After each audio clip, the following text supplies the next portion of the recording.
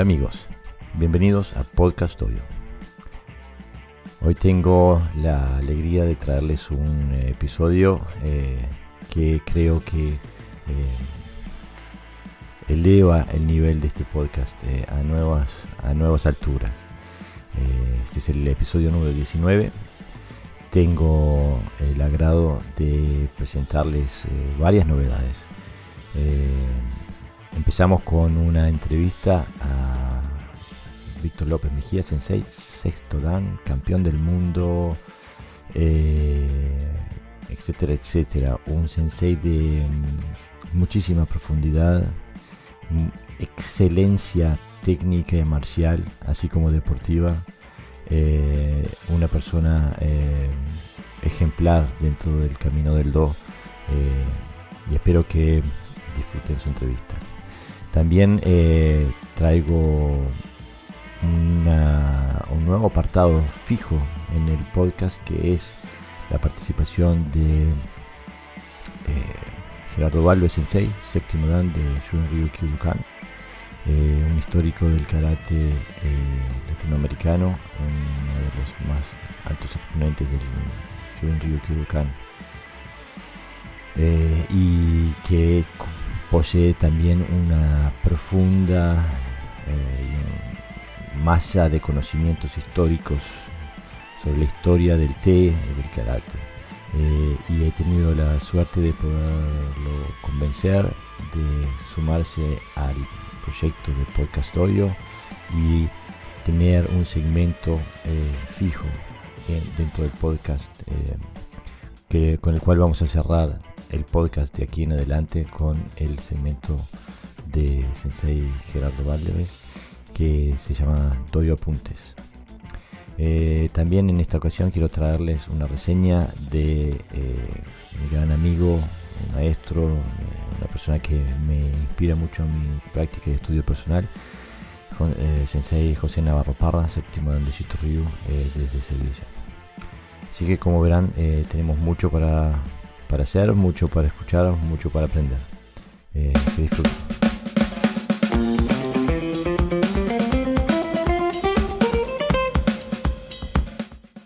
Hola amigos, bienvenidos a Podcast Hoyo. Hoy eh, volvemos a España, a la madre patria, volvemos eh, a visitar a un gran sensei, sensei Víctor López Mejía, de ilustre trayectoria y de una herencia marcial también. Eh, sensei, gracias por darnos su tiempo. Buenos días, muchas gracias Jorge Sensei. Eh, estamos muy alegres y contentos de tenerlo aquí. Esperemos eh, de que nos permita robarle alguna idea y alguna experiencia y compartirla con la audiencia. Sensei, ¿puede contarnos un poquito sobre su historia? ¿Cómo empezó su camino marcial? Sí, bueno, em, yo empecé muy, muy joven y, más bien por eh, tradición familiar, porque ya mi, eh, mi padre y mi hermano mayor practicaban eh, karate cuando yo era bien pequeño, así que me inicié hace 37 años con, con 3 años de edad, ¿no? comentaba que, recuerdo como, como, bueno, me inicié en la, en la faceta deportiva principalmente, porque era lo que había lo que había en, Occidente, sobre todo, ¿no? Y, entré en la selección con 16 años de edad.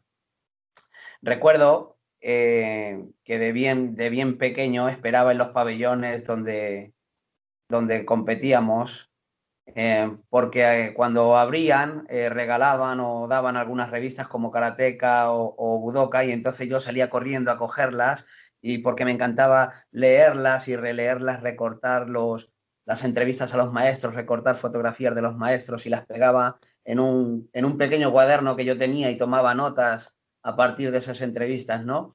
Ya desde bien joven, recuerdo que con 13 años, em, em, eh, esos apuntes que tomaba en, en ese cuaderno decía que, que iban a convertirse en, en, el libro que después saqué con 28 años, ¿no? En el primer libro de historia de karate que saqué que publiqué. Así que, eh, aun estando en la faceta deportiva desde bien joven, siempre me interesó la práctica de, del karate, digamos, un poquito más tradicional, la práctica de Kobujutsu también iniciamos muy, muy joven. Y a partir de ahí, desde bien joven tuve curiosidad por, por la práctica de otras artes marciales, en las que luego eh, terminé graduándome como Jiu-Jitsu, como eh, Katori, Shinto-Ryu y, y otras artes marciales que siempre intenté ligar a mi práctica de karate. Qué pasión, ¿no? Eh, eh, casi como que eh, desde el nacimiento, ¿no? para los oyentes que quizás no, no, no conozcan su trayectoria, ¿puede contar un poquito? Porque yo sé que tiene mucho más en el baúl para contar. porque son como, bueno, dos caminos paralelos. Su, su trayectoria tradicional o original, como diría Vallo Sensei, ¿no? o sea, su, su, trayectoria de, dentro de su río, pero también su trayectoria deportiva, digo, tiene unos laureles importantes a ese nivel también.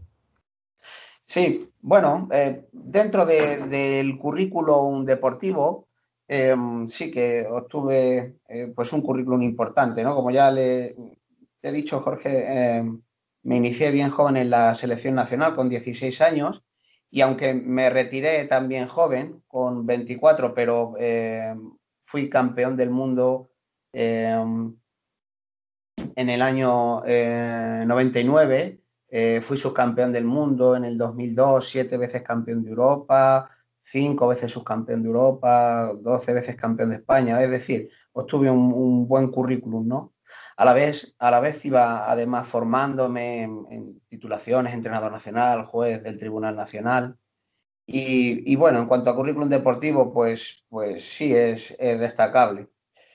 En cuanto a la faceta tradicional, pues siempre me interesó. También recuerdo que estando en la selección de joven, yo era eh, ese bicho raro, entre comillas, ¿no? Que además de hacer karate deportivo, practicaba koujutsu y estaba interesado en la historia de karate y demás, ¿no? La mayoría éramos todos muy jóvenes y, bueno, lo que nos interesaba, además de competir y del karate deportivo, era pasarlo bien y, ya está, y poco más. Pero sí, yo era un poquito eh, bicho raro en ese aspecto, ¿no? Entonces, bueno, siempre, para mí siempre estuvo ligado la faceta deportiva y la faceta tradicional. Eh, pero sí que entiendo que hay un momento para cada cosa. Y, una vez terminada mi, carrera deportiva, para mí no tenía mucho sentido continuar, continuar allí. Eh, y, evidentemente es una, es una faceta en la que se puede continuar muchos años, primero como competidor, después como entrenador o como seleccionador.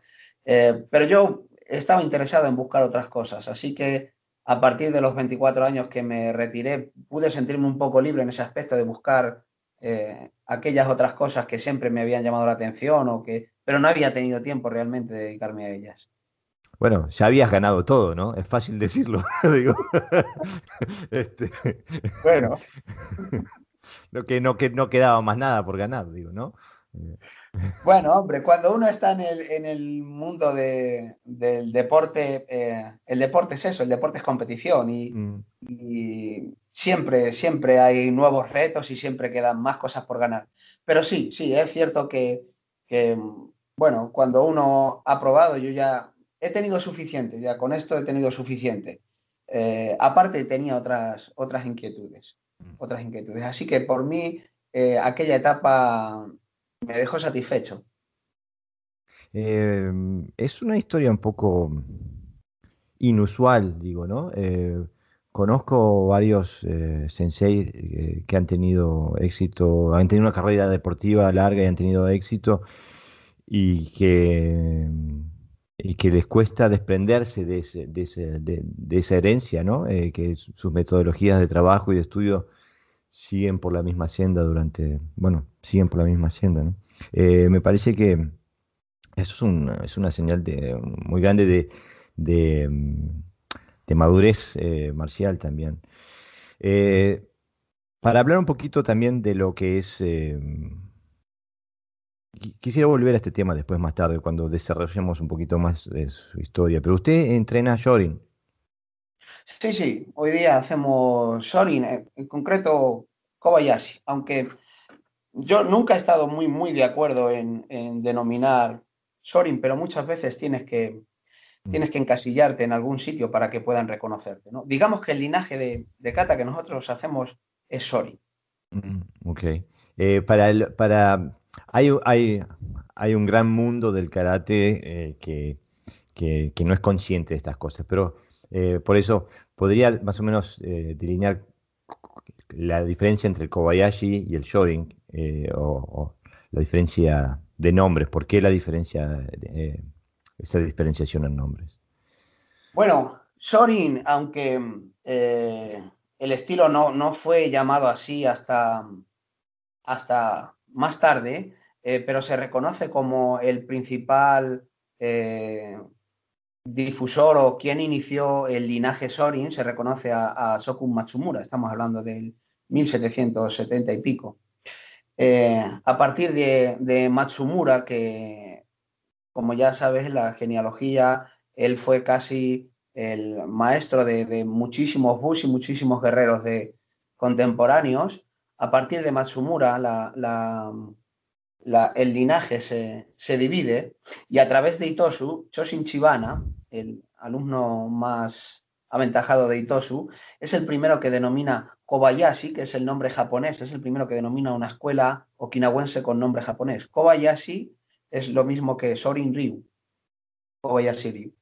Entonces, eh, el linaje del Sorin Ryu que viene a través de, Itosu y de Chibana eh, es diferente a la influencia del, por ejemplo, del Sorin Ryu que hay en Matsubayashi o diferente a la influencia del Sorin Ryu que hay en Matsumura Seito de la línea de Ohan Shoken o, la línea de Seido-kan de, de Shimabukuro eh, que viene a través de Chotokukian y demás. Digamos que el inicio de, la palabra Sorin podía, podría colocarse en la figura de Sokun Matsumura. Muchas gracias por esa aclaración, Sensei. También eh, nombra, como estoy con un historiador, me tomo la libertad de hacer una pregunta histórica. Em, usted nombra a Tosu Anku Sensei, em, que es, para mí es una figura histórica que me genera eh, sentimientos encontrados. Eh, podría, mm, podría explicar cuál es el, papel histórico que, que, jugó Ankuitosu Sensei. Bueno, en cuanto a, y ojo, cuidado, esta es mi, apreciación, ¿no? De, después de, investigar y de...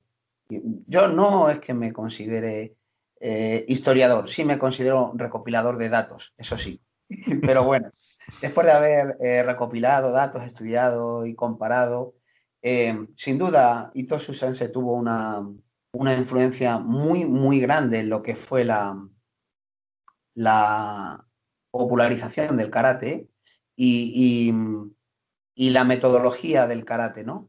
En cuanto a la enseñanza de, la población civil o de, o de adolescentes. Porque, como ya sabéis, hasta entonces karate era practicado por, por personas que se dedicaban a la milicia, por gente profesional y evidentemente adultos, ¿no? Gente que eran guerreros o gente que venía de la clase noble. Entonces, sin duda, Itosu eh, tuvo una idea y, aportó el, que el karate pueda ser introducido en, los colegios y demás. No fue el primero que tuvo esa idea porque anteriormente unos dos o tres años antes, estamos hablando del año 1900, 1902, eh, cuando se inició todo esto, 1900, 1902, cuando se inició este proceso de, introducir el karate en el sistema escolar, ¿vale? Pues dos o tres años antes eh, eh, hubo un noble que se llamaba, no recuerdo bien el, nombre de ese noble, pero era partidario de, de la sección pro-China Mm. Sabemos que Anko Itosu era partidario de la sección pro-japonesa, ¿no? Mm. Y este noble era partidario de la sección pro-china y entonces de su bolsillo, este noble, abrió un colegio en el que había unos 70 estudiantes y en el que se estudiaban los clásicos chinos y además se estudiaban sistema, el sistema de artes marciales que había en Okinawa, que entonces era el Ti, ¿no? Antes de la denominación de, karate. Así que Itosu eh, eh, no fue originario en esta idea. Él cogió esa misma idea y llevó esto a, los colegios de la sección pro-japonesa. Evidentemente estaba viendo una japonización de toda, la, de toda la sociedad, de toda la cultura y demás. Así que él aprovechó, se subió al carro para introducir el karate con, eh, aquella nota que escribió al gobierno y demás eh, en los colegios japoneses. ¿no? La prensa japonesa eh, le ayudó también y, evidentemente él metió a sus alumnos, a Nashiro Somo, a Ken Suyabu y demás, metió a sus alumnos a, impartir karate. Eso como figura es, o, como hecho es indudable y y es eh, de reconocimiento, ¿no? Pero como, como karateca, bueno, pues como karateca sabemos que para Matsumura Itosu no era un buen luchador. Mm. Eh, no era rápido y hábil, no tenía habilidades para luchar. Sabemos que hay otros alumnos de Matsumura como Kiyuna Peichin o otros alumnos de Matsumura que eran eh, mucho más habilidosos en la pelea. Matsumura no reconocía a Itosu como, como un buen eh, técnico, como, como un buen luchador. Sin duda, Itosu tuvo una metodología increíble, ¿no? Y eso hay que reconocérselo. Eh, como aporte de carácter, pues bueno, sin duda modificó lo que había. Mm. Eh, muchas gracias por esa aclaración, Sensei.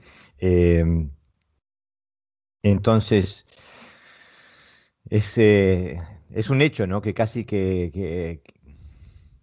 que gran parte de lo que conocemos como karate hoy, los estilos, los cuatro estilos principales de la, de, en Japón y todo eso, eh, y, gran parte de lo que viene de Okinawa también tiene como punto focal a Itosu Banco Sensei, ¿no? Pasa por ahí y después se vuelve eh, digo, y para eso digo, tenemos que estar muy agradecidos de que tomó esta posición, si no, yo hoy no estaría entrenando karate, ¿no? Pero es verdad que modificó eh, el, karate original.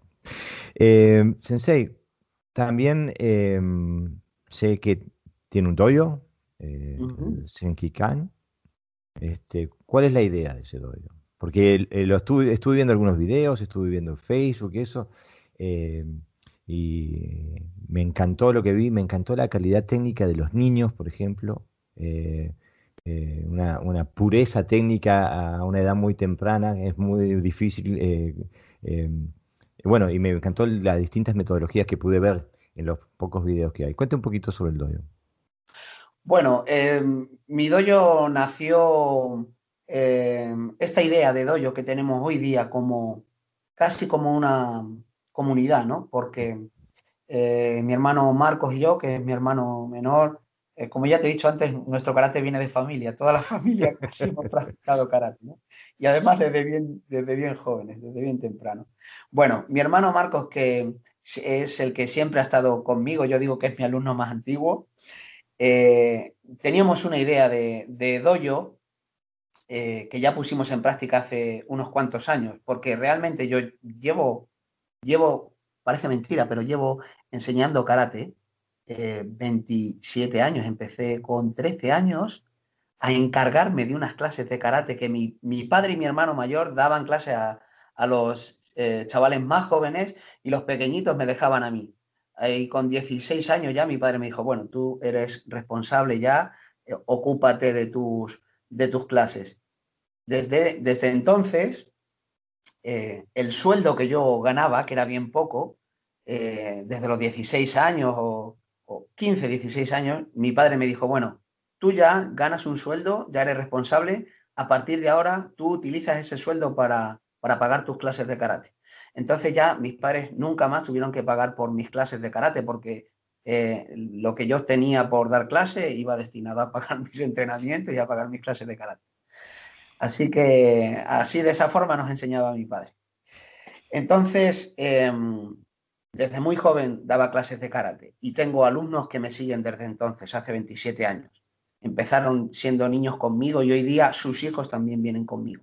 Bueno, pero hace unos años mi hermano Marcos y yo tuvimos la idea de, tener un dojo de la forma, en la forma que lo tenemos hoy. El dojo es una especie de comunidad en la que todos son responsables del mantenimiento de ese dojo. Es decir, mi hermano Marcos y yo no ganamos un duro por ese dojo. Yo no, vivo de las clases de karate, pero no no de las clases del dojo. Yo tengo otras clases, escuelas deportivas, municipales y demás, y vivo de eso, pero no de las clases del dojo. De ahí no recibimos ni un duro. Eh, los alumnos tienen una cuota que es la del mantenimiento del alquiler de, del dojo y allí enseñamos, allí nos reunimos, allí formamos la familia de karate que nosotros tenemos, pero no sacamos nada de allí, ni tenemos pretensión de hacerlo. Entonces, el alumno que, por ejemplo, durante un tiempo no puede venir, bueno, pues él sabe que si él quiere que el dojo esté para cuando él vuelva, el dojo se tiene que seguir manteniendo. Así que eh, hay, una, hay una cuota que él debe aportar y no es una cuota fija, cada uno aporta lo que puede y en el momento que puede, porque también eh, siempre ha venido gente, oye, Sense, no, no puedo este mes, no pasa nada, cuando puedas, cuando se pueda, eh, se trata de ayudarnos entre todos. Y, así es, si quieren que el dojo siga manteniéndose, el lugar donde ellos aprenden, eh, tienen que colaborar en que el dojo se mantenga, ¿no? Y esa es un poco la idea. De hecho, tenemos un concepto que abrimos también hace años que se llama una caja de resistencia. No sé si conoces la idea de la caja de resistencia. Nació en los años de la industrialización en Europa, en Francia. Eh, los trabajadores de las empresas guardaban una parte de su sueldo en una caja de resistencia, ¿no? Ah, Entonces, entiendo. enfermaba o, ese dinero se, se, daba a ese trabajador para que la familia no pasara hambre durante ese tiempo. Así que eh, nosotros rescatamos esa idea y la mantenemos de la caja de resistencia, pues vamos diciendo, oye, hace falta comprar una espaldera nueva para el dojo, hace falta comprar productos de limpieza para el dojo, hace falta cualquier cosa. Así lo, así, esa es nuestra idea de karate de hoy día, de dojo, de dojo. Así que me imagino que entonces con tal filosofía, em, no, que les haya sido más fácil, pero por lo menos tenían una preparación psicológica para enfrentar esta crisis del, COVID-19, ¿no? Sí, bueno, eh, no, fácil, fácil no fue nunca. Yo mm. creo que eh, el que se dedica a dar clases de karate, eh, Onaga Sensei nos decía que el karateca no puede ser nunca rico, porque invierte todo su dinero en karate. Mm. Fácil nunca fue mm. en el, desde el punto de vista de que siempre que el dinero no alcanzaba para pagar la tasa del dojo, eh, o en los inicios, por ejemplo, los primeros años, eh, esa tasa corría por cuenta de mi hermano y mía, ¿no? Siempre, te digo, mi hermano Marcos, mi hermano pequeño, siempre estuvo ahí a mi lado, colaborando, el, el primero y demás. Así que fácil nunca es. Quien, quien tiene que dar clases no lo tiene fácil nunca, seguro. Quien se dedica a karate eh, vivirá, creo yo, esa es mi filosofía o mi experiencia, lo que he vivido hasta ahora. No en la precariedad, pero, pero rozando. Sí, por lo menos una gran inseguridad, ¿no? Sí, efectivamente. Sí, eh, yo tengo un doyo con bastantes alumnos, por suerte, digo, y, nunca, siempre termino gastando más dinero del que, del que genera el dojo, ¿no? Porque eh, las circunstancias siempre hacen que, bueno, que hay que aportar, viene una, una, cuenta más grande de electricidad de lo que se preveía, o, esto, lo otro, este, pero bueno, son, así son, así es ser, eh, tener un dojo, así es ser un sensei, ¿no? Eh, me imagino que usted tiene también, siente una gran responsabilidad por lo que, por la vida de ese dojo y por los valores de ese dojo, ¿no? y no se pueden vender al bajo precio de la necesidad, ¿no? Así es, así es. Yo, yo creo que eh, el que está a cargo de un dojo o a cargo de unas clases y lleva muchos años dedicándose a ella y no lo hace evidentemente por, porque es un bueno un extra económico o algo de eso. El que lo hace por, por pasión y por dedicación eh, está siempre eh, mirando con vistas a los demás, muchas veces en, detrimento de uno mismo, ¿no? Y, es así. Eh, tener un dojo es muchas veces romperse el corazón en, mil pedazos siempre que un alumno abandona el dojo después de mucho tiempo que le has dedicado o, cuando ves que todo el esfuerzo exige más, más y más aporte económico, bueno, mm. estas cosas eh, siempre pasan, ¿no? Pero, pero hay que aprender a ser feliz también incluso con, eso, claro. con todos esos inconvenientes. Sí, ¿no? Aparte, digo, es parte de la, de la, de la vida, de la, de la naturaleza de un doyo, de que uno se acompaña con la, gran mayoría de los alumnos, se acompaña durante un periodo y después ellos siguen, ¿no? pero es bonito ver lo que se llevan también, ¿no? Eh, eh, ver cómo que encontrarse con ellos 10 años después y ver que tienen una buena vida, que tienen una buena familia, eh, ese tipo de cosas, y, que, y que recuerdan el doyo con mucho cariño. sensei, mirando ahí los videos, veo un concepto que se llama Tenshin. ¿Me puede explicar qué, qué, de dónde proviene eso? ¿Qué es? ¿Es algo por lo que veo muy típico o específico de, su metodología. Bueno, eh, sin duda para nosotros eh, Tenshin es uno de los pilares eh, principales de nuestro, de nuestro karate, ¿no? ¿Por qué? Porque Tenshin es, es, el movimiento del cuerpo enfocado a la lucha. Y, y de ahí emana la idea de que evidentemente la lucha es algo algo movido, no es algo estático. Si nos damos cuenta o vemos otros tipos de karate, muchos tipos de karate se centran en, los puntos, en las paradas, en, las posiciones estáticas, cómo estoy colocado cuando estoy en esta posición, cómo estoy, pero no, no prestan mucha atención o no prestan por lo menos tanta atención a qué, qué es lo que hay entre esos puntos. Y realmente karate es lo que hay entre esos puntos, lo que hay entre las paradas. La lucha no son movimientos analíticos, la lucha son eh, una, coordinación de segmentos que, funcionan activamente y se coordinan desde la base. Eh, entonces, si no estudiamos el movimiento, ¿qué, estamos haciendo? Estamos estudiando otra cosa. Luego tú puedes seccionar ese, estudio, ese movimiento, lo puedes seccionar en, pequeños, en pequeños fragmentos, ¿vale? Pero al final tienes que ponerlo todo en juego. Y no me vale solamente el estudio de los puntos o prestar más atención a los puntos que al movimiento. ¿vale? Al final, eh, como decimos nosotros, Tenshin es el movimiento del cuerpo enfocado a la lucha, pero no cualquier movimiento. Es un movimiento inteligente y un movimiento con una, eh, con una idea concreta y con una, y con una forma concreta. ¿De acuerdo? Esa forma concreta está establecida en, líneas de puntos. Pero sin duda, eh, o sea, eh, karate hay que estudiarlo desde el movimiento y, y es movimiento, es como movernos. Ok, eh, entonces, desde, esa filosofía, eh, se puede decir que lo que estudia en su escuela, el, tipo de movimiento y la metodología de movimiento que estudia en su escuela, es, ¿eso es, es compatible con lo que hacía antes a nivel deportivo? ¿Es el mismo tipo de movimiento? No, no, no, sin duda no es, no es compatible, no es compatible. Hoy día, em, yo eh, nos gusta mucho estudiar la, biomecánica, la, física, los principios, porque para nosotros karate es una ciencia. Y es una ciencia porque cualquier cosa que nosotros hagamos, cuando hablo de nosotros me refiero a mi doyo o a mi, hermano eh, pequeño, a mí, a mis alumnos más aventajados.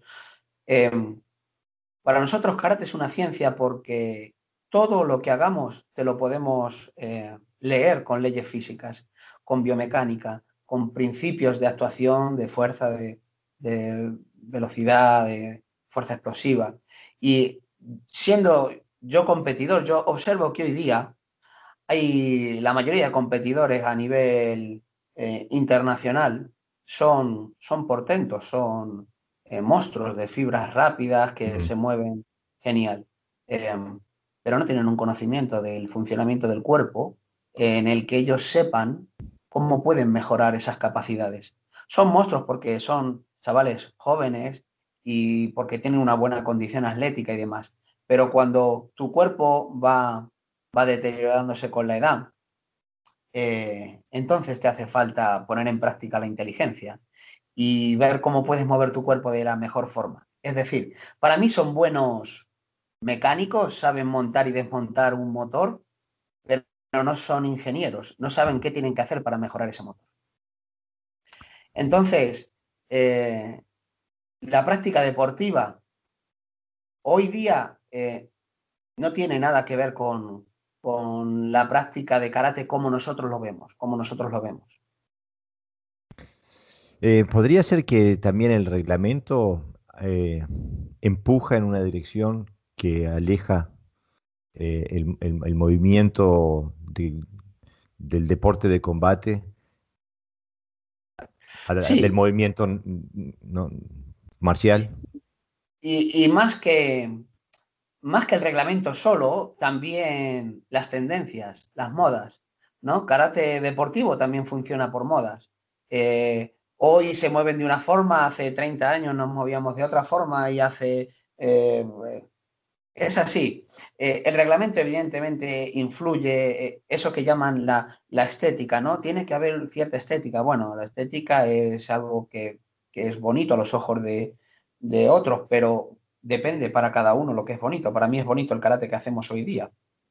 De acuerdo, pero, pero sí, sin duda el reglamento, eh, influye. Por ejemplo, eh, en cuanto a karate, a kumite deportivo, a combate deportivo, eh, está basado principalmente en la velocidad.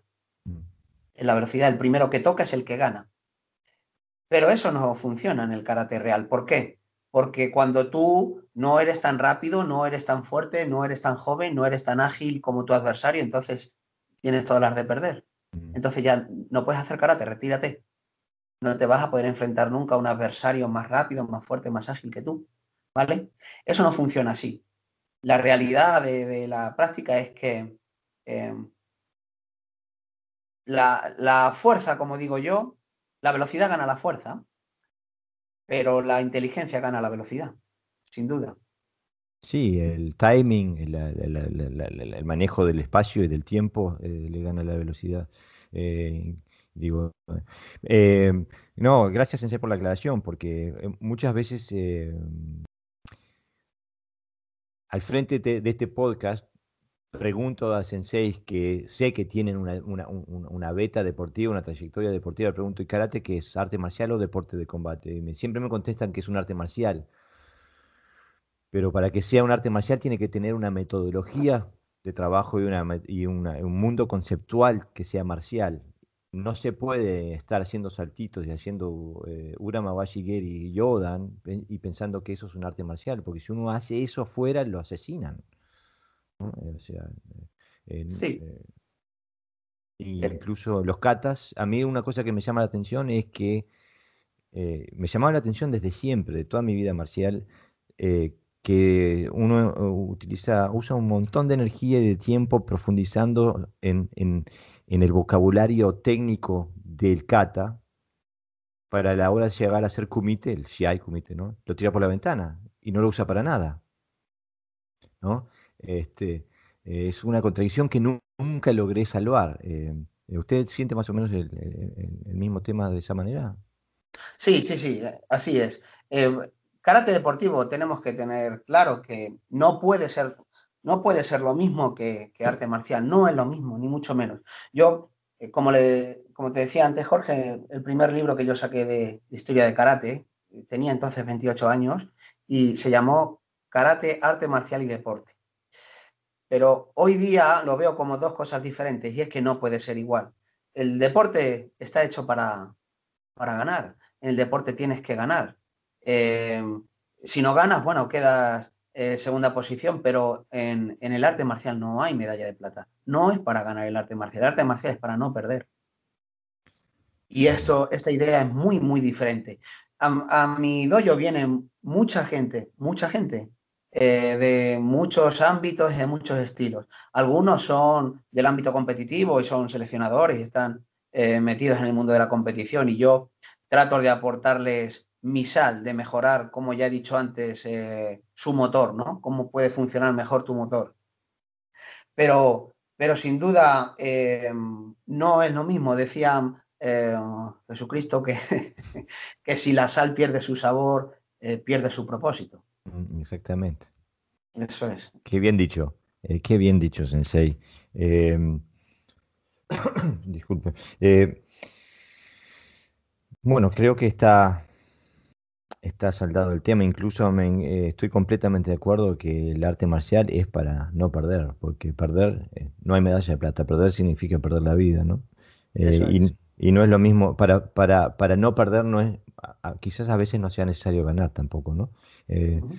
Em, sensei, usted nombró otras artes marciales, aparte del Kujutsu, nombró Jiu-Jitsu.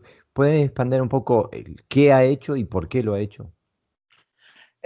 sí, bueno, eh, en primer lugar, eh, como ya te, decía antes, Jorge, eh, siempre me interesó todas las artes marciales en general, ¿no?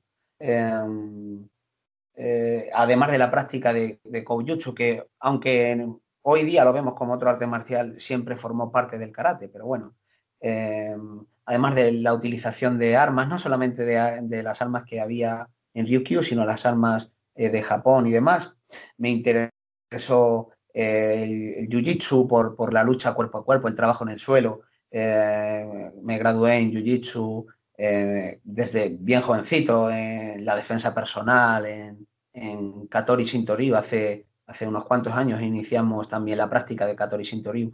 ¿Por qué? Porque la, la idea y los conceptos de otras artes marciales eh, siempre me ayudaron a enriquecer mi karate.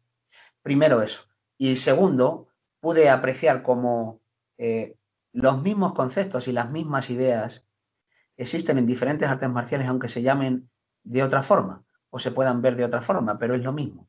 Entonces empecé a encontrar muchas similitudes, casi más que diferencias, porque las herramientas y las armas son las mismas.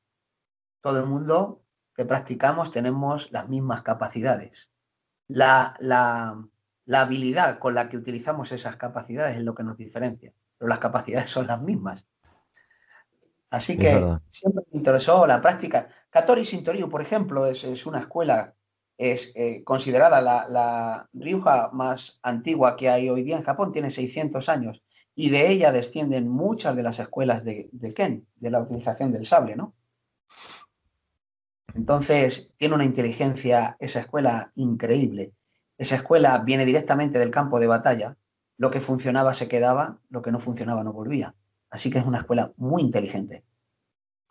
Eh, es interesante porque el otro día estaba leyendo un libro de Joe Swift, eh, eh, que es otro, historiador, de, y en donde él podía, tenía documentación que demostraba que, que Matsumura Soko Matsumura Sensei había estudiado, había estudiado Jigen Ryu, ¿no? Un, estilo de, Ken. O sea que eh, evidentemente eh, eh, tenemos, es, una, es, casi como una necesidad, parece, ¿no?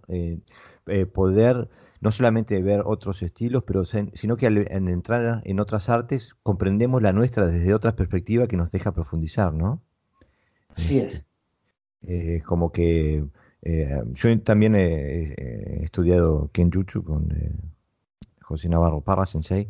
Em, y vengo yo vengo del Wado Ryu, eh, donde Otsuka Sensei, el fundador, era ya era maestro de, Yoshin Ryu Jiu-Jitsu antes de, empezar con karate. Y, y, a través del Kenjutsu de él, empecé a comprender más lo que estaba intentando decir Otsuka Sensei en el karate, ¿no? Eh, porque veía que los principios venían trasladados, ¿no? Eh, fue una experiencia muy importante. Entonces, Sensei, me encantó también una parte que quiero rescatar, donde usted dice que el, el es karate, ¿no? Sí, en, la, cabeza de mucha gente eso no tiene sentido, porque karate quiere decir, eh, quiere, eh, quiere decir mano vacía y, estamos en un doyo eh, donde estamos entrenando todos los días y pegamos al aire y hacemos yunsuki, gyakusuki, subimos y bajamos por el doyo. ¿Puede explicar un poquito de qué se trata esto? ¿Qué es, ¿Por qué Kobujutsu es karate? Bueno, sí, entiendo, entiendo que pueda haber gente que piense que piense que karate es mano vacía y que kobudo es algo, kobujutsu es algo externo a karate y, adaptado. Tienen su razón en parte, pero, pero también desde, desde puntos de partida erróneos se sacan conclusiones equivocadas, sin duda. Eh, para mí, karate procede de, de más antiguo, de, de su denominación karate, que viene de 1936. Para mí, karate viene del ti, y el ti viene de la tradición guerrera. Tradición guerrera existe en las islas Ryukyu desde que había uso de ejércitos por los pequeños señores feudales, es decir, desde muy antiguo. Eh, aunque, se tengan, aunque se tengan referencias escritas y nombres como, como eh, eh, o como, o como, es decir, aunque se tengan em, referencia escrita de hace 600 años, el ti es muy anterior y viene de la tradición guerrera. Y en la tradición guerrera existía el uso de armas, porque nadie iba a la batalla sin armas.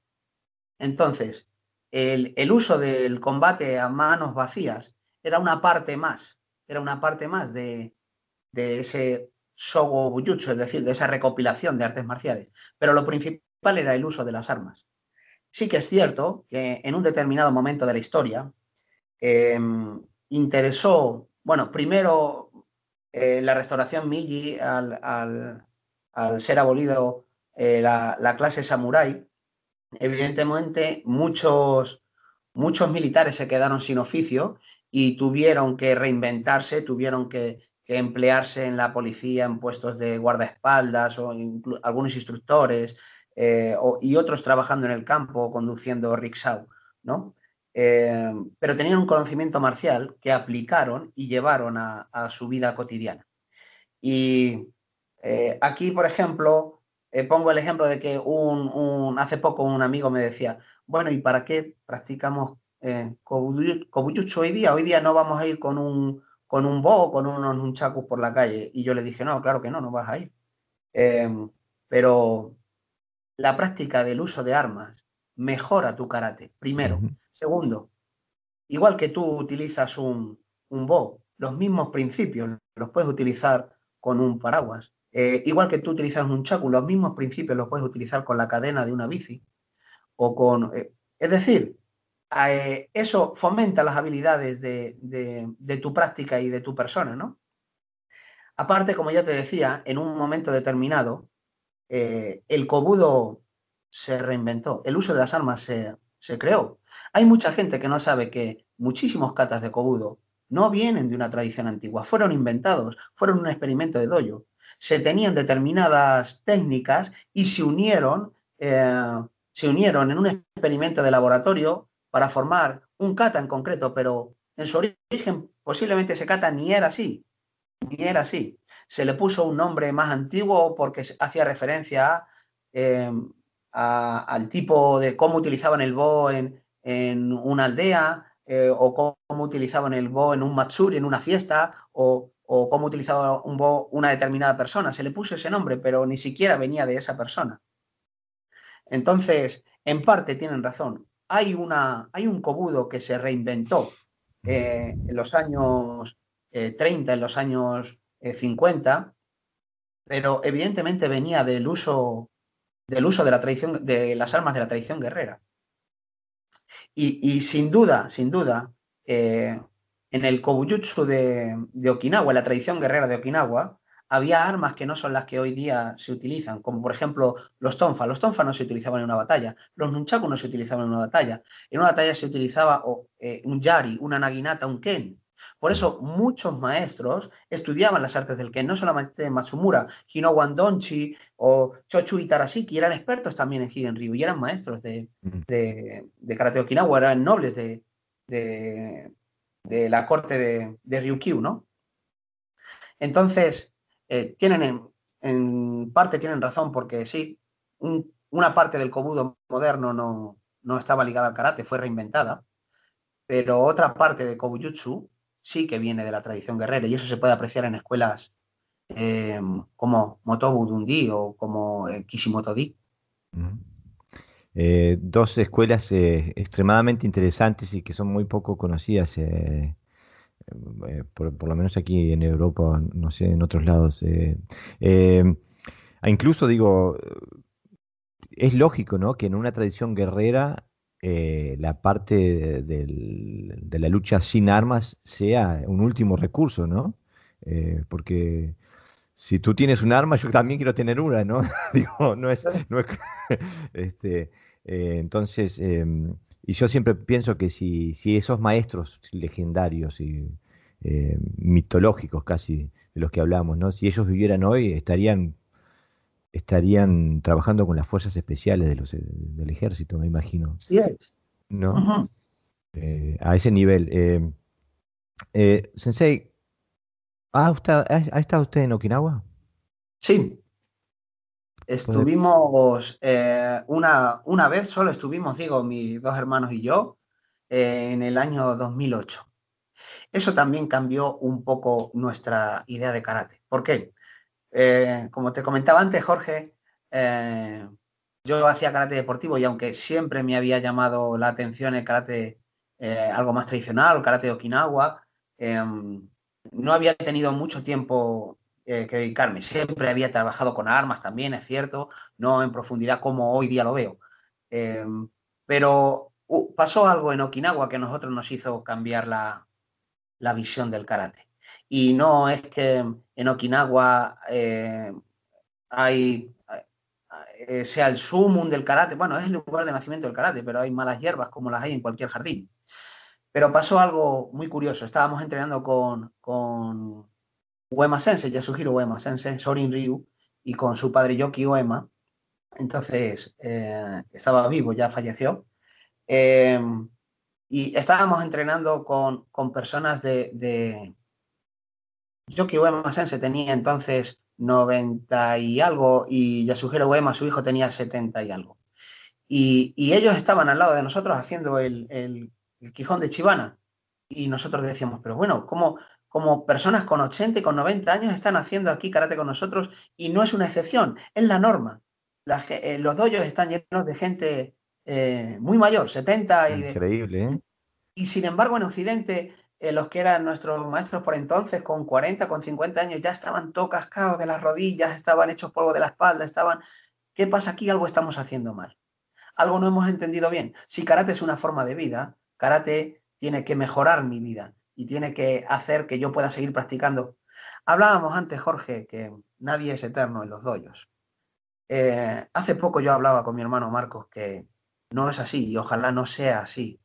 Yo veo fotos de gente mayor sentada con karate en, en el dojo en círculo, sentados tomando saque después de entrenar. Y son gente que llevan 70 años, como 70 eh, años haciendo karate. Es decir, llevan, llevan toda su vida haciendo karate. ¿Por qué hoy día eso no puede haber en Occidente? No en lo general y no va a ser en la mayoría, pero puede que tengas un alumno que se tire contigo 70 años, ¿por qué no? No, sí, eso sería fantástico poder trabajar juntos durante tanto tiempo, ¿no? Eh, si tengo una certeza eh, personal es que, eh, y, digo, que yo me voy a morir en el doyo.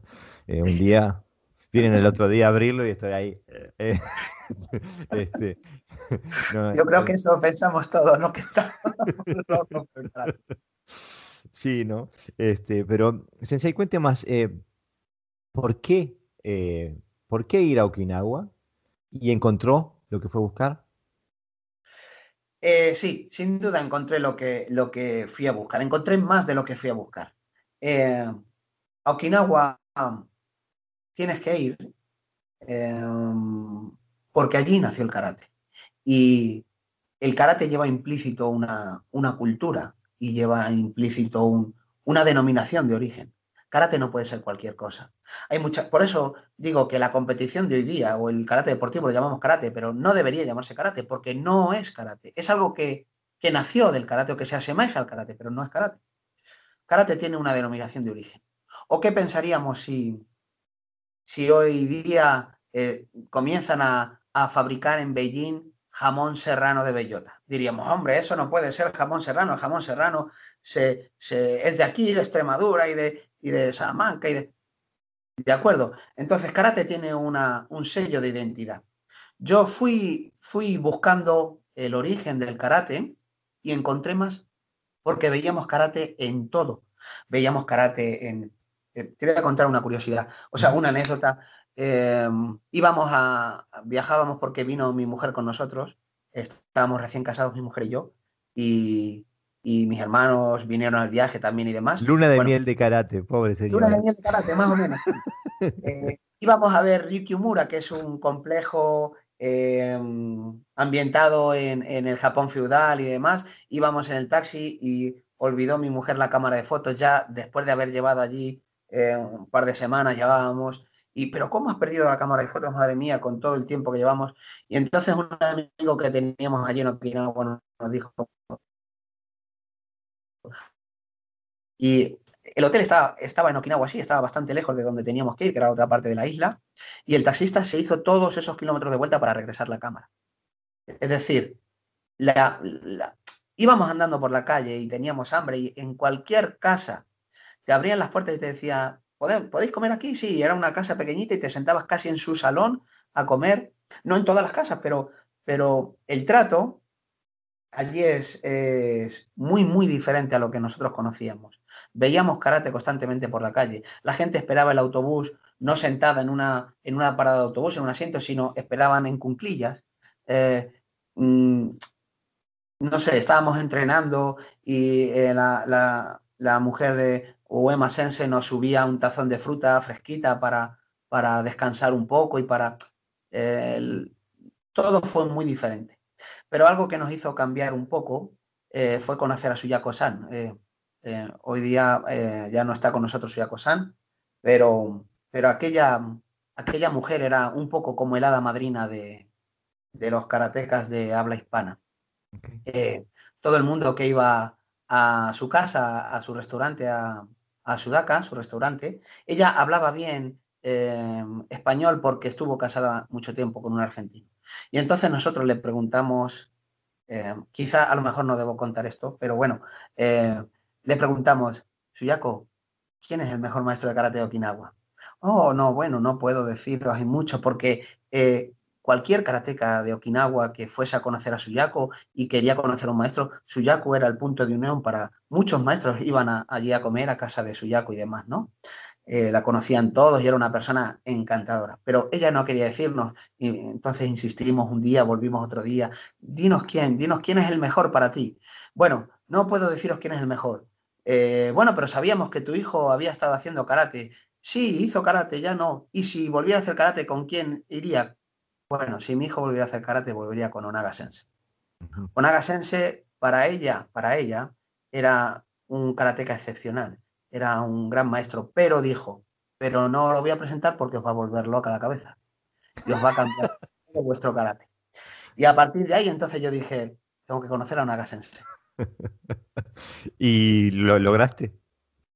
Lo logré, lo logré. Lo logré al cabo de unos años y unas conexiones con personas y demás.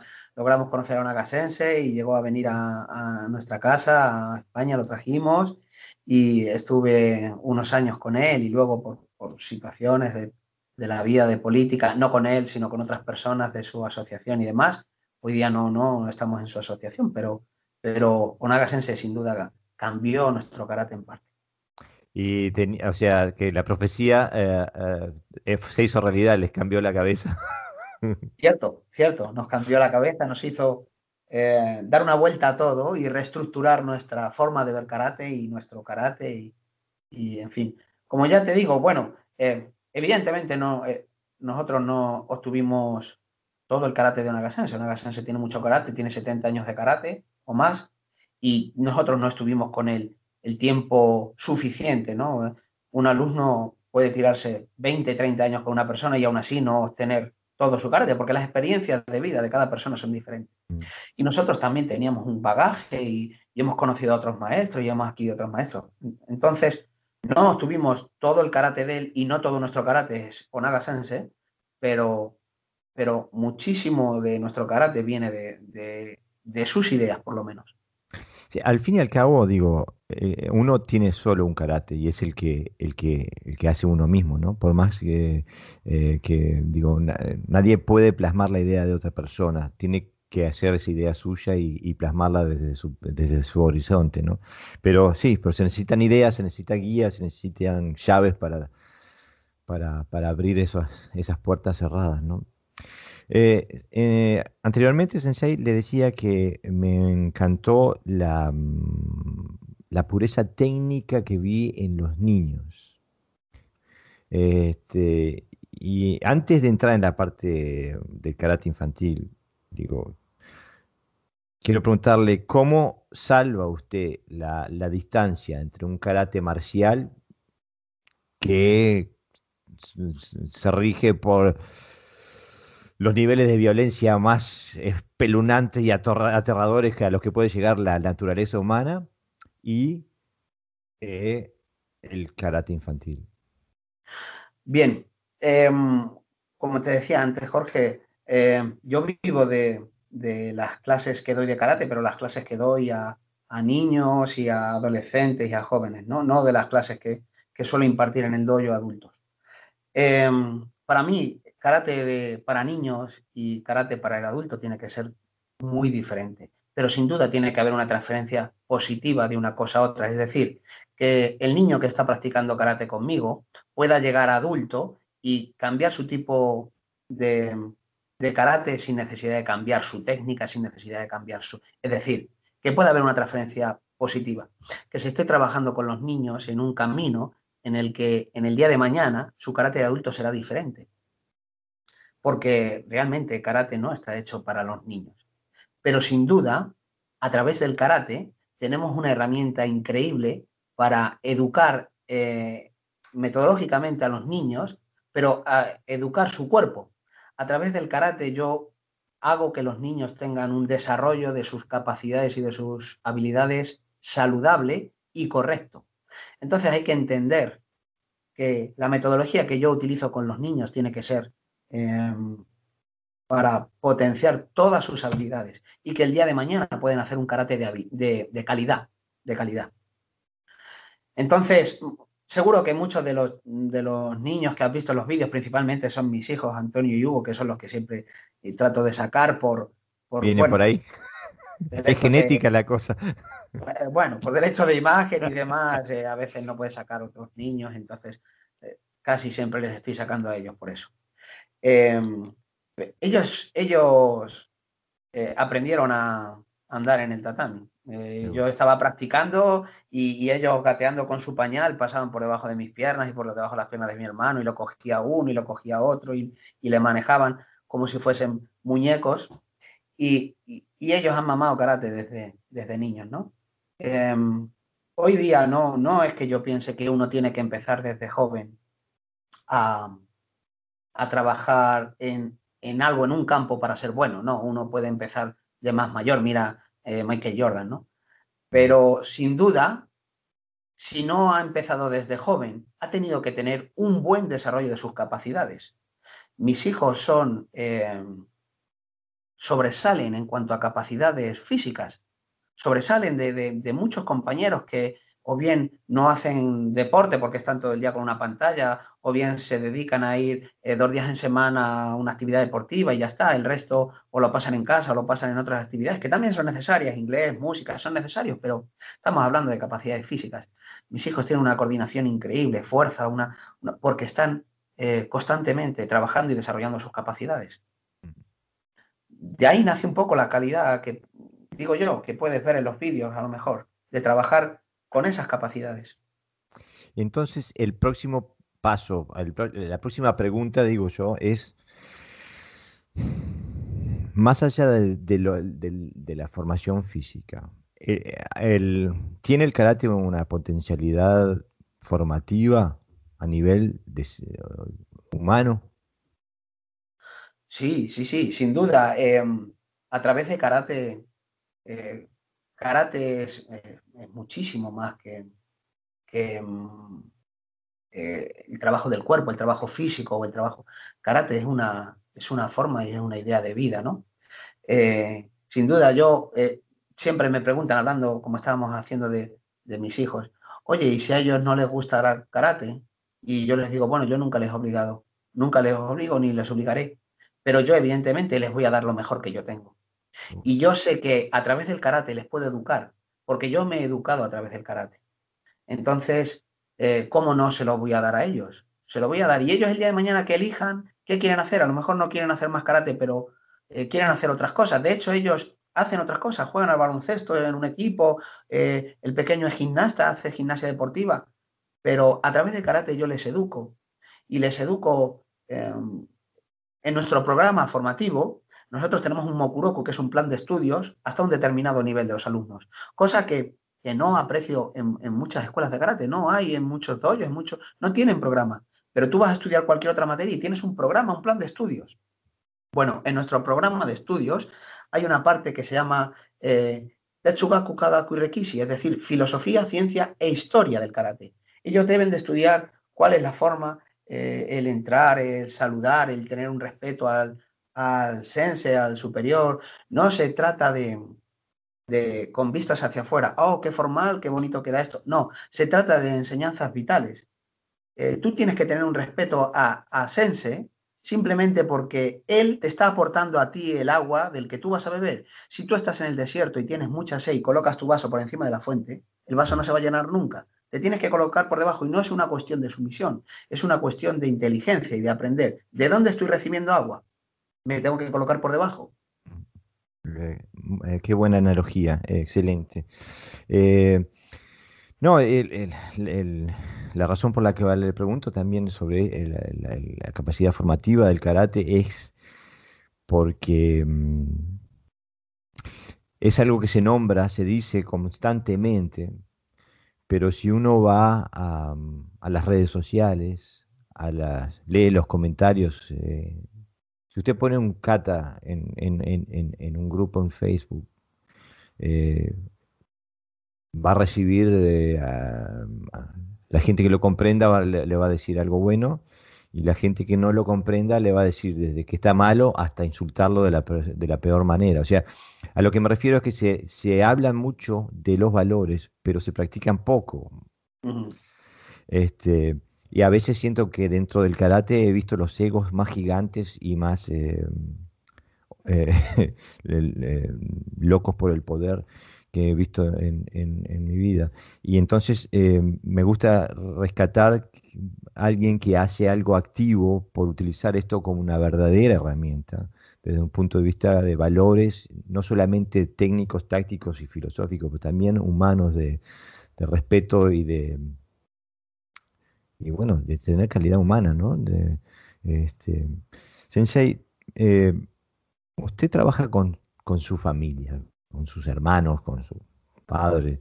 Eh, eh, ¿Cómo se navegan esas aguas, ¿no? Porque muchos, todos sabemos que a mi hermano, mi hermano me puede irritar de una manera especialmente profunda y, puedo, yo puedo tener una reacción con la que no me permitiría con ningún otro ser humano, por ejemplo, ¿no?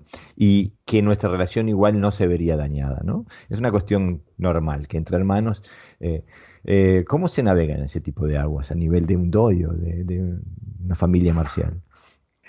Bueno, pues eh, yo creo que karate tiene que ser tiene que ser a través de la familia. Y cuando hablo de la familia no hablo solo de línea de sangre, ¿no? Para mí un alumno que lleva conmigo veintipico años es, es como mi hermano, es, mi familia. Y yo soy a lo mejor como, como su padre, yo tengo que mirar por él, él tiene que mirar por mí. ¿Dónde vas a estar tú mejor y más a gusto que, que con tu familia, ¿no? Si tienes una buena relación con, con tu, con tu padre, con tus hermanos y demás. Para mí, el haber practicado karate en familia, para mí, ha sido lo mejor que me podía pasar porque nunca estuve solo.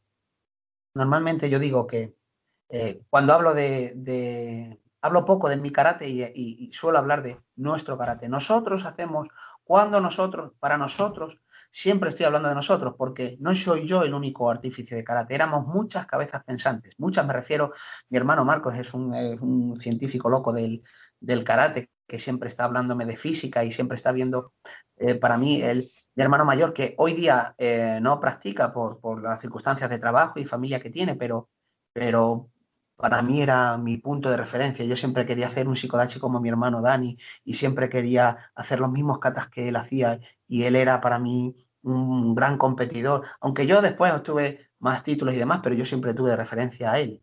Siempre tuve, él era el primer cinturón negro infantil que hubo en el dojo y bueno. Entonces para mí practicar karate en familia fue una bendición, fue una bendición. Eh, claro que hemos tenido nuestras disputas y nuestras discusiones e incluso puntos de vista diferentes, pero eh, tener puntos de vista diferentes con una persona que sabe eh, no tiene por qué ser malo, sino, sino enriquecedor para ti, porque puede hacerte ver las cosas de forma que tú no habías caído en ellas. Y, y aún así, aún así, el, aunque tú no coincidas con su forma de ver, no tiene por qué ser menos válida. Mi mm. hermano Marcos, por ejemplo, que como te digo, es alumno mío de, siempre, de toda la vida, y, y aún siendo rango inferior a mí, tiene un bagaje suficiente como para poder ver las cosas en karate diferentes a mí.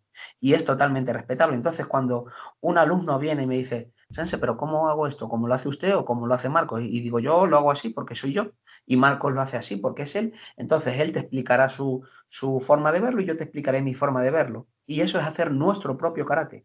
Aun siendo de un mismo dojo, no tiene por qué hacer todo el mundo igual karate, no tiene que ser así. Mm.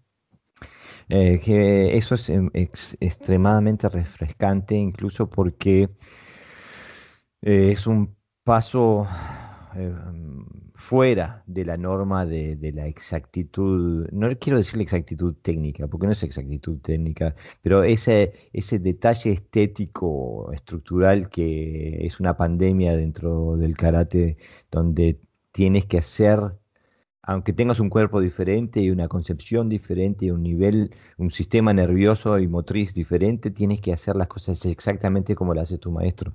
Y terminas siendo la copia de otra persona y no siendo tú. Eh, es refrescante, me encanta esa posición, Sensei. Pero estamos en el 2020, estamos apenas saliendo, me parece, de, la pandemia del COVID-19 el karate entra en las Olimpiadas el año que viene. ¿Qué va a pasar con nuestro karate? ¿Qué ¿Hacia dónde vamos? Eh, bueno, eh, sin duda creo que, el karate que entre en las Olimpiadas, aunque ya en, París ya es difícil que continúe, pero que el karate esté en las Olimpiadas de Tokio sin duda es una gran noticia. ¿no? Hoy día karate tiene más visibilidad que nunca en medios de comunicación, en televisión, en prensa.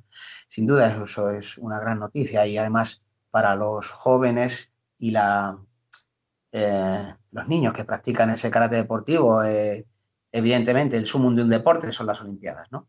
Eso es lo mejor que puede haber en ese aspecto. Por otro lado, el, otro tipo de karate, ese karate que no depende de federaciones y ese karate que no tiene mm, vistas a deporte ni a, e-, ese karate siempre va a seguir existiendo. Como te digo, el TI tiene 600 años y, ha seguido existiendo. Ese karate continuará. Ese los doyos tampoco se van a llenar de más gente porque el karate sea olímpico. Eso no, no pasó tampoco en el judo ni pasó en el taekwondo. Y en karate tampoco va a pasar. No va a atraer a más gente. Lo que sí va a hacer es que el karate deportivo tenga más visibilidad. Y eso es perfecto para los que se dedican al deporte, porque tendrán mejores medios de vida.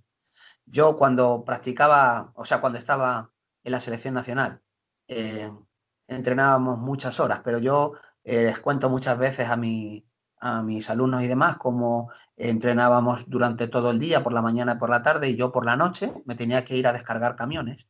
Y volvía temprano por la mañana, mis compañeros me dejaban la ventana de la residencia abierta para que yo pudiera colarme, dormir una o dos horas y seguir entrenando. Y así lo tenía que hacer o pedir vacaciones en un trabajo o irme de un trabajo para poder irme a competir a un campeonato. Eso no es vida y, nadie se puede dedicar a algo en exclusiva en esta situación. Entonces, el que el karate sea olímpico le dará a, a la gente que se dedica al karate deportivo mejor forma de vida. Pero por otro lado, el karate tradicional o el karate clásico, el karate okinawa o el seguirá igual, no le influirá para nada. Eh, me parece muy acertado su análisis, Sensei. Eh, no quiero robarle demasiado tiempo, pero está tan interesante. Usted acaba de nombrar karate clásico, karate original, karate tradicional. Eh, hoy los más grandes exponentes del karate deportivo provienen de dojos que se autodenominan como karate tradicional.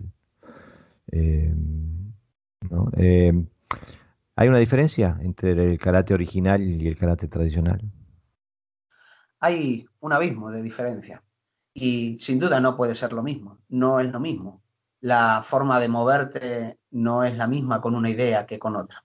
Eh, el karate, por ejemplo, el karate deportivo en, cuanto a kata, como ya te digo, funciona a través de, espasmos nerviosos, de estímulos fuertes, movimientos explosivos, tan explosivos que a veces se saltan eh, movimientos por querer ser más rápido, eso no es velocidad para mí. Pero bueno, eh, hay, hay, una diferencia increíble, aunque ahora hay una tendencia entre el mundo de los competidores, porque yo me mantengo, eh, llevo bastantes años en esto y me he movido en diferentes campos y tengo conexión con mucha gente. Y hay una tendencia ahora, los competidores de élite están como intentando recurrir a, aquellos utensilios del karate. Por ejemplo, ves a un competidor de élite que está utilizando un chishi, que lo están utilizando eh, no de forma correcta, lo están utilizando mal, pero, pero sale con un chishi en un vídeo o intentan golpear al makiwara. Em, bueno, están como recurriendo a ese, a ese karate eh, puro, ¿no? Pero no es lo mismo, no puede ser lo mismo, porque en, Okinawa hay una palabra que se llama kimochi. Kimochi significa tener alma de algo o tener corazón de algo. Y entonces a muchos maestros de karate de Okinawa, eh, más que la calidad técnica, le importa que el practicante que llega de fuera a su dojo tenga ese, ese alma, ese espíritu, ese corazón de karate, ¿no? Y entonces eh, esos maestros quieren ver, quieren ver no que tú quieres aprender para mejorar, eh, para mejorarte a ti, para mejorar tu ego y para mejorar eh, tu técnica y que quede muy bonito. Quieren ver que tú practicas simplemente por el hecho de, que karate forma parte de ti o incluso lo que quieres es convertir o hacer que el karate mejore y ser un mejor y hacer un mejor karate, ¿no? O legar un mejor karate a las generaciones que vienen después. Entonces, hay una gran diferencia entre, entre tener kimochi o no tener kimochi, tener otro tipo de aspiraciones, ¿no? Que no tienen por qué ser malas, depende de lo que estés buscando. Pero sin duda no es lo mismo. Eh, arte marcial y deporte no pueden ser lo mismo porque tienen propósitos diferentes. Eh, sensei, estoy completamente de acuerdo, pero lo que también quiero hacer, mm, decir a la audiencia que, que quizás no esté eh, que no sea eh, consciente, de su existencia, de que no lo conozca, de que mm, por lo general cuando yo entro en contacto con una persona que tiene laureles eh, a nivel deportivo, lo primero que me entero es de que lo primero que uno sabe, que uno ve en su página web o en su, es que soy campeón, es campeón mundial de esto, siete veces campeón mundial o lo que sea. En cambio, estuve semanas eh, comunicándome con usted. Usted nunca me dijo nada de nada. Me enteré por terceros en, un, en una, una letra muy pequeña, lo último que se decía de usted, de que era campeón mundial. este, lo cual denota, eh, denota dos cosas en mi cabeza, así superficialmente denota de que usted no está en esto por el ego, usted siente una responsabilidad, un, compromiso. Eh, que va más allá, que trasciende su persona, que trasciende, es un compromiso por el arte, ¿no?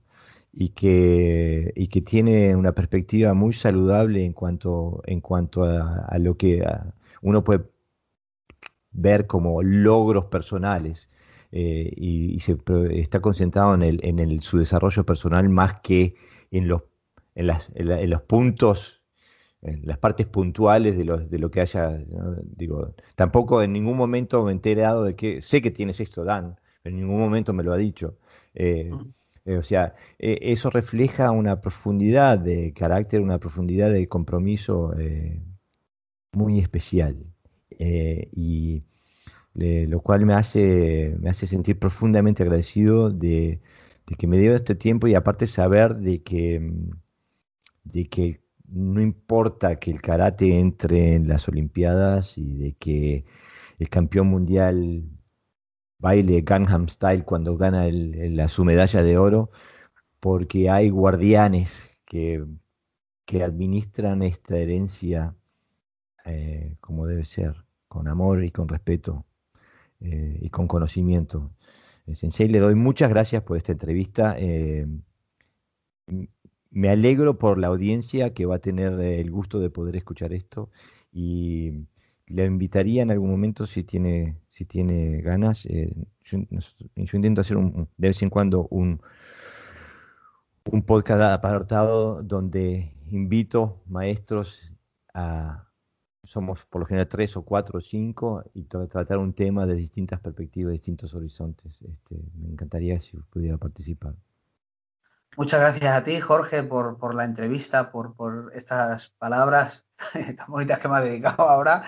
Y por supuesto, sería un placer para mí eh, eh, estar en, ese, en esa serie de entrevistas que, haces. Eh, cuenta conmigo, por supuesto. Muchas gracias, Sensei. la verdad que no puedo esperar para, para, para, para publicar.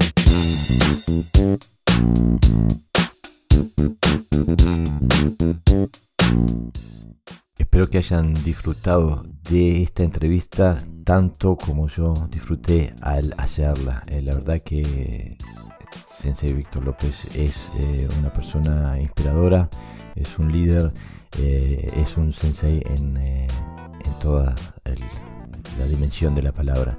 muchas gracias Sensei por brindarnos su tiempo y abrirnos sus puertas durante esta entrevista. Ahora los dejo con otro monstruo del karate, Sensei José Navarro.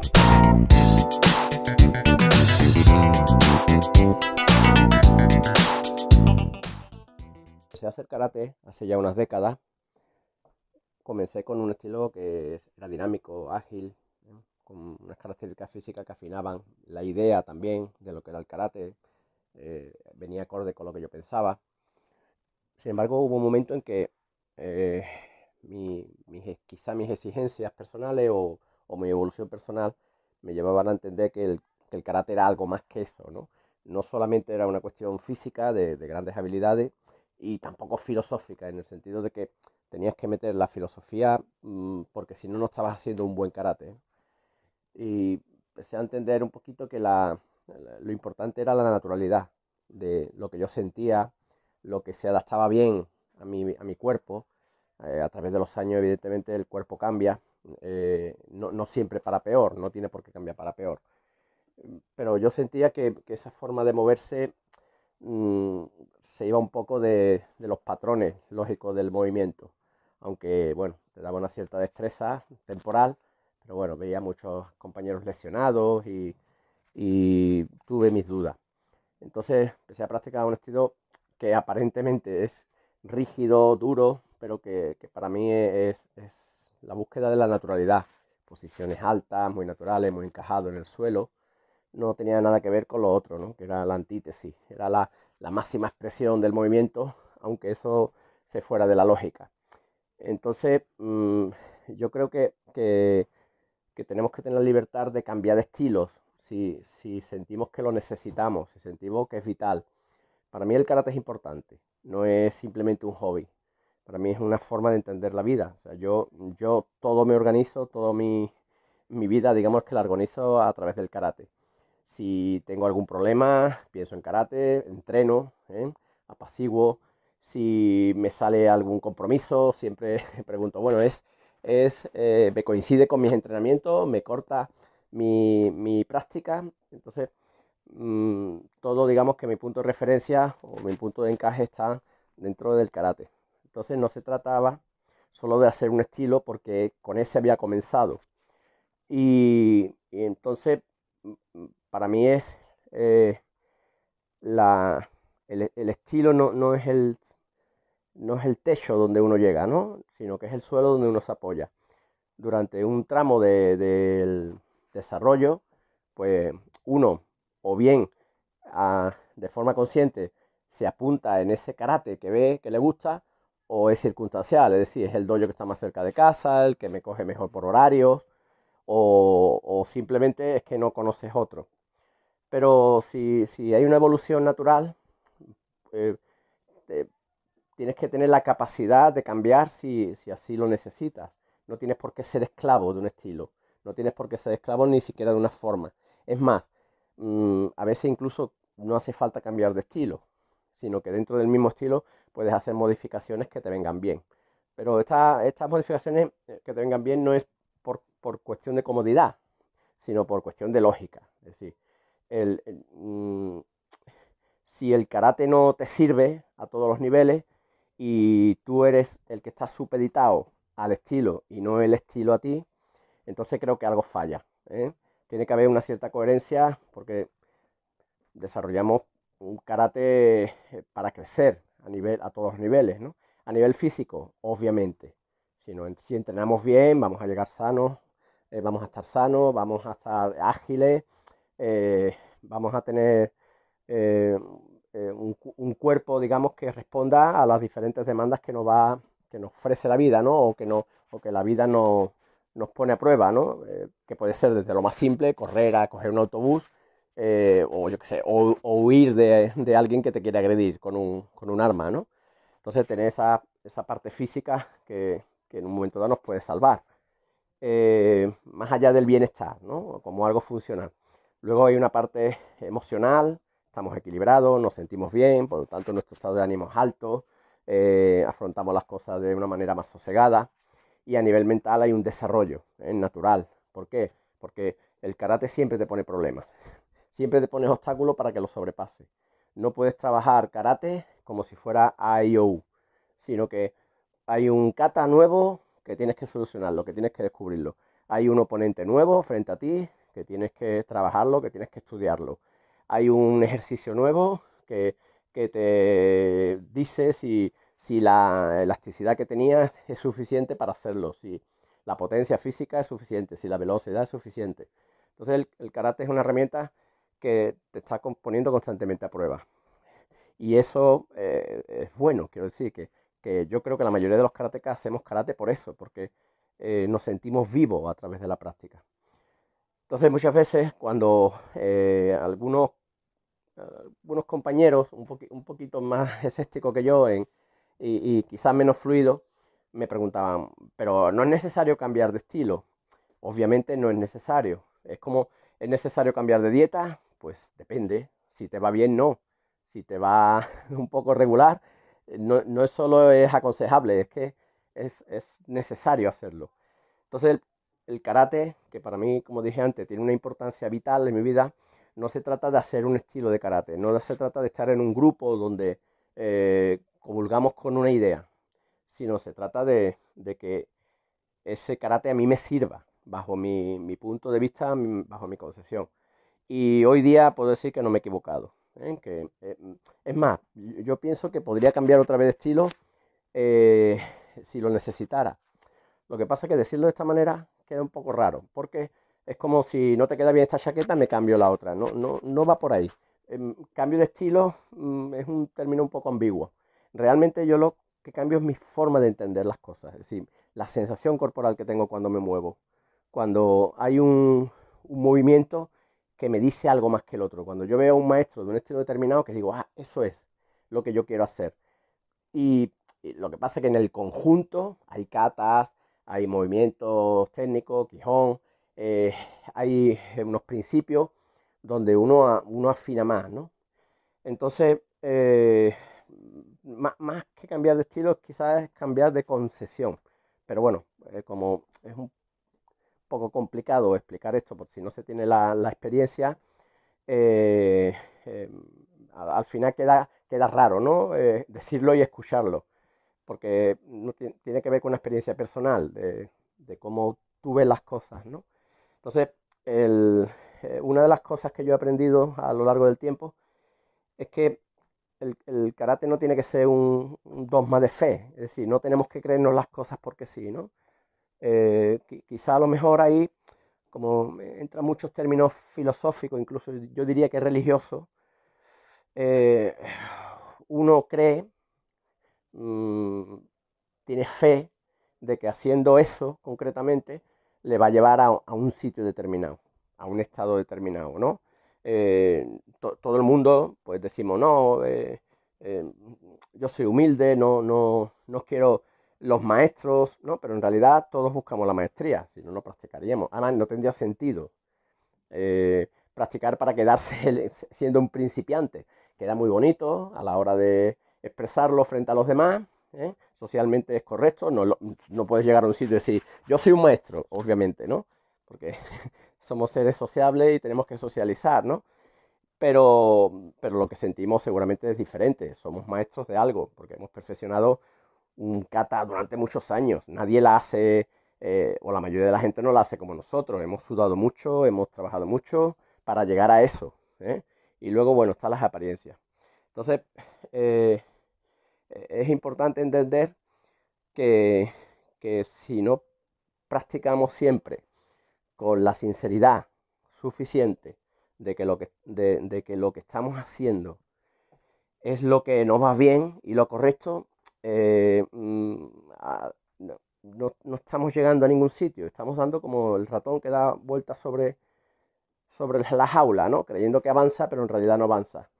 Eh, yo, he visto incluso mm, compañeros donde se le enseña una cata, pero la rechazan por el hecho de no ser de su estilo. Es decir, como si el estilo dijera, no, no, nosotros hacemos estas catas y las demás no valen. ¿no? Eh, no, utilizan ninguna herramienta que no sea aquella que está dentro de su escuela. Hombre, sentirse eh, dentro de un grupo, eh, estar integrado, sentirse parte de algo, es importante, ¿vale? Pero tenemos que sentirnos parte de algo siendo nosotros un todo, no, no una porción. Nosotros no necesitaríamos, no tendríamos que necesitar de algo externo que nos motive constantemente, porque la práctica mm, es energía, si uno practica bien, eh, te incita a practicar más, a practicar más, y después eso tú lo compartes con el resto del grupo. Lo, lo ofreces, digamos, ¿no? Te alimentas del grupo y el grupo se alimenta de ti. Pero si, si se tiene ciertas carencias de cualquier tipo, a nivel técnico, a nivel personal, es fácil, ¿no? Eh, entonces, bueno, digamos que delego, ¿no? En ese concepto de grupo. Eh, y el grupo a la vez lo que hace es eh, refugiarse dentro de, una máscara que llamamos estilo, donde, donde los demás estilos no están equivocados, pero posiblemente tengan menos parte de verdad que la que yo tengo. Y, y entonces es complejo salirse de esa, de, ese ambiente, porque además el ambiente favorece determinados aspectos. Es decir, no, no, bueno, a veces no. ¿eh? A veces el, los grupos, las grandes organizaciones, los, los estilos, eh, más bien coartan. ¿Por qué? Porque eh, para mantener a un grupo, para sostener a un grupo, no puede haber diferentes ideas. Porque entonces no es un grupo. ¿Qué ocurre? Que siempre va a haber un líder que intente imponerlas, ¿no? y siempre va a haber gente que comulgue con eso, es decir, que, prefiera un líder de determinado estilo que, que, lo oriente, digamos, ¿no? Ante su incapacidad de ver, pues siempre tiene que haber alguien que lo vea, ¿no? Pero bueno, si entra ya en más profundidades sobre este tipo, que habría mucho que hablar, eh, yo, creo, yo creo que se tiene que ser valiente en karate. Siempre se habla de la, de la valentía, ¿no? pero muchas veces esa valentía se habla desde un punto de vista casi romántico. ¿eh? Aparecen las películas, aparecen los escritos, ¿eh? hay que ser valiente, hay que ser tenaz, etcétera, etcétera. Pero luego a la hora de dar pasos reales, que impliquen muchas veces un cambio sustancial en, en todos los esquemas que has estado trabajando durante mucho tiempo, no se da ese salto. Por lo tanto, hablar de valentía no tiene ningún sentido. Para mí la valentía es un elemento funcional y fundamental eh, dentro de un budoka. Eh, siempre y cuando obviamente tú tengas esa necesidad personal. ¿eh? No se trata de que, venga, vamos a ser valientes, así de forma muy arbitraria, sino tú sientes algo y entonces has practicado para eso. O sea, muchas veces los enemigos, como se suele decir, ¿no? La típica frase también que se usa en las artes marciales son, son invisibles, ¿no? Pero yo creo que son visibles. Están, lo vemos, lo vemos venir a no ser que sea un virus, como ocurre ahora, eh, normalmente nosotros detectamos rápidamente cuáles son nuestros enemigos. Entonces, eh, el, poder dar ese paso es, un acto de madurez, ¿eh? Que, además esa madurez aparece de forma también natural a través de la práctica. Constantemente estás practicando, practicando, practicando Está practicar no solamente con, el cuerpo. ¿eh? No es, se trata de, de, hacer Mizuki todos los días, mil katas, porque la mente también se acomoda a eso, entra en un estado de inercia y al final no, no, evoluciona. ¿eh? Perfeccionas la técnica, pero no hay una evolución más allá del gesto que estás haciendo. Lo que hace es acentuar, digamos, incluso los errores, ¿no? Entonces, la práctica como, como, un, como la totalidad. Es decir, una forma de pensar, eh, trabajar, que yo pienso esto y, busco herramientas para, que esa idea se acabe expresando a través del movimiento, porque el karate no deja de ser trabajado con el cuerpo, ¿no? Eh, eh, utilizar todos aquellos recursos que, me sean útiles, tanto directos como transversales. Y a veces esa, esa, esa práctica es, la que se tiene que concebir dentro de karate. ¿eh? Lo demás, pues bueno, está bien, te lleva a un determinado sitio a partir de que hay una edad o, un, eh, o una pausa por lesión o lo que sea. Eh, al final todo lo que se ha perdido se, va, se va quitando, ¿no? Pierde sensaciones, pierde movilidad y, te queda aquello que has practicado. Si has practicado de, forma externa, pues, pues el físico mm, ya sabe que te, te va a castigar en un momento dado. Si tienes experiencia, esa experiencia se va a quedar, obviamente. ¿no? Entonces, eh, hay, aspectos importantes que hay que tener en cuenta. ¿no? Para mí, eh, existen estilos, visualmente hablando, existen, pero si profundizas realmente en los valores del estilo, casi todos son iguales. Todos los maestros hablan de lo mismo, de los, de los principios que se deben usar, de, lo que sí vale y no vale. No hay, no hay una gran diferencia. Leyendo el otro día eh, sobre las máximas de Funakoshi o sobre los preceptos de Itosu, al final no, no dicen cosas diferentes. Sin embargo, parece que trabajan estilos diferentes, ¿no? Y yo no sé, no conozco la historia ni, ni he visto a suficientes maestros de, la época para ver si todos hacían eh, karate igual. Seguramente no. Pero yo creo que en, esta, en este momento sí se ha acentuado eh, mucho las diferencias. Es decir, la gente quiere ser diferente. Este es mi estilo, yo hago duro, este es más suave, este es más largo, este es más corto. Nosotros tenemos tales catas. Hay un, una sensación de, que, de querer definirse en exceso. ¿Vale? Eh, y, de lo que se trata es sobre todo de practicar, de practicar y de practicar. Entonces, Mm, yo aconsejo y aliento a que si tienes esa necesidad, eh, tampoco es necesario cambiar de estilo, es decir, pero que, veas qué hay en los otros, ¿no? Yo se lo digo a veces a, algunos compañeros de práctica. Muchas cosas que yo conozco ahora me han venido porque he practicado con gente de otros estilos, que me han ofrecido visiones nuevas de la práctica, ideas nuevas y, y sobre todo eh, una, comprensión del arte desde otra perspectiva, ¿no? Es como la música y la danza, eh, que no tienen por qué estar unidos. De hecho, cuando se juntan, mm, ya sabemos el resultado, ¿no? Es la belleza. Entonces, bueno, mm, puede ser a lo mejor algo eh, paradójico, conflictivo, decir que si existen estilos, evidentemente existe, ¿vale? Pero son necesarios, son, son, lo tenemos que, practicar toda la vida. Es decir, estoy castigado a, tener que practicar el estilo, es como el que vive en el barrio, ¿no? Nace en un barrio y no tiene por qué quedar ahí toda la vida. Después, si, si le sale buen trabajo y, tiene posibilidades, pues se acaba intentando mejorar su vida, ¿no? Su calidad de vida y posiblemente se mude. Entonces, eh, no, no tenemos por qué seguir el mismo camino que hemos comenzado. Así que bueno, esta es mi reflexión. Eh, sé que es eh, la reflexión de un karateka ya mayor. No tenía estas, estas eh, reflexiones porque no son dudas. Yo tengo muy claro cuál es el camino del karate. Pero bueno, son reflexiones de, un karateka ya no mayor, pero en el sentido negativo, pero sí, sí adulto y que espera seguir teniendo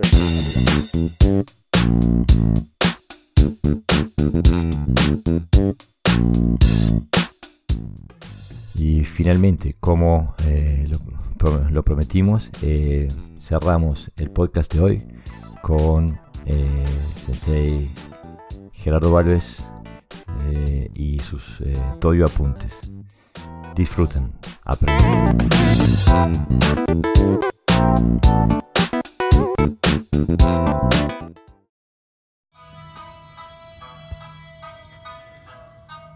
¿Qué tal compañeros del Do? Mi nombre es Gerardo Valves y desde hace cinco décadas transito por la senda del karate. En este ya largo peregrinar he sumado una infinidad de vivencias tanto personales como así también recuerdos y anécdotas de maestros conocidos y de otros que no lo son tanto. Me encantaría, gracias a este espacio, poder compartirlas con todos ustedes, a través de lo que yo denominé hace ya mucho como mis dojo apuntes. Deseo de corazón contribuir, aunque solo sea mínimamente en vuestra búsqueda, y de esta forma poder llegar a convertirme con el tiempo en un buen compañero de viaje. Términos como Bum Ryodo, Onko Chishin y Kyudo Mugen marcarán el rumbo de esta nueva experiencia que nos llevará, espero, a develar misterios y derrocar mitos. Acompáñenme, espero no defraudarlos. Gambate Kudasai por siempre, queridos amigos. ¿Qué tal, compañeros del Do? Hoy comenzamos en esta nueva andadura que yo he dado a llamar Dojo Apuntes. Y abrimos esta primera página con lo que podría ser la historia etimológica del ti. Es bien sabido que te, o ti en el dialecto de Okinawa, es el nombre anterior que tuvo el karate. Lo que originalmente se denominó Ti, con el tiempo se fue convirtiendo en el karate que hoy conocemos. Esto es aproximadamente entre 1897 y 1907. Posteriormente cambia su nombre y su forma de ser escrito, principalmente cuando es llevado al Japón continental durante la era Showa en 1926. No obstante, sí hay constancias anteriores de esta denominación antes de salir de Okinawa. Por ejemplo, Hanashiro Chomo Sensei escribió en su artículo llamado Karate Kumite en 1905 que él ya utilizaba los caracteres para describir karate. Además, de acuerdo con la teoría comúnmente aceptada, los caracteres para denominar karate se dice que ya habían comenzado a ser utilizados también por Anko Itosu, cuando enseñó karate en la escuela normal de la prefectura de Okinawa, también por 1905. El hecho había sido aclarado en la revista Ryukyu Kokyu, en el número 53 de agosto de 1900, que los caracteres para karate fueron utilizados ya antes. Esto está extractado del Okinawa Karate Kobudo Jiten en su página 671. Entonces cabe preguntarnos, ¿Cuándo se usó la denominación Ti entonces? Durante una mesa redonda con Nagamine Yoshin Sensei, en la era de la posguerra, Chibana Choshin Sensei explicó lo siguiente. Según varias conversaciones que tuve con mi maestro Itosu Anko, fallecido en 1916 a la edad de 95 años, originalmente había un sistema llamado Tio Okinawa.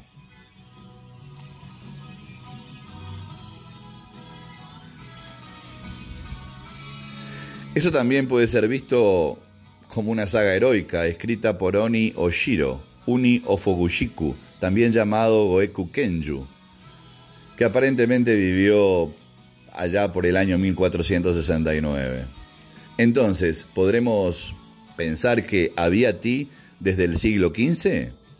Por cierto, Goeku Kenju es el antepasado de Mabuni Dunchi, del clan Ka, de los cuales Mabuni Kenwa Sensei era descendiente. Fue desde 1899 que Chibana Sensei se convirtió en estudiante de Itosu, por lo que escuchó esta historia sobre ti varias veces entre 1899 y 1907. Según esto, el término ti existió mucho antes de ese momento. Además, como ya viéramos, Hanashiro Chomo, también discípulo de Itosu Sensei, en el famoso Simposio de Expertos de Karate de 1936 dijo lo siguiente, en los viejos tiempos no se llamaba karate, sino todi, o simplemente ti. ¿Cuándo fueron entonces esos viejos tiempos? Asumimos que Hanashiro Sensei, que, fue, que nació en 1869, hablaba de su tiempo como un adolescente. Entonces el término ti pudo ser utilizado antes de la década de 1880. Aunque se complica enormemente encontrar el uso de la expresión ti en la, literatura antes de ese tiempo, existe la posibilidad teórica de ir más atrás. Si tomamos en cuenta que Itosu Sensei usó el término ti, ¿por qué no suponer que este término ya existía durante su tiempo de estudiante entre principios y mediados del siglo XIX? Por cierto, ti no solo, no solo se utiliza para significar el nombre anterior de karate, sino también para significar el arte marcial único de Okinawa llamado Uchinadi. Si el Uchinadi realmente existió o no, no plantea ninguna controversia. Esta discusión, sin embargo, implica la siguiente pregunta. ¿Desde cuándo se puede y a quién le correspondería llamarse heredero de un karate tradicional y a partir de cuándo nacería entonces el karate moderno? Lo dejamos acá. Ya continuaremos profundizando. Espero que les haya gustado. Nos vemos pronto, compañeros del Do.